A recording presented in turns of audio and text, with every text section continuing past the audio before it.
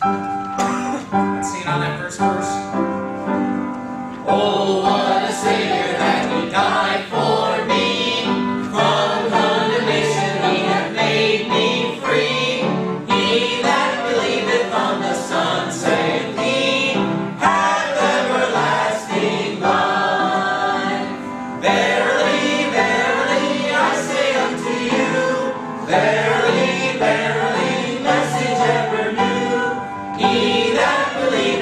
the sun.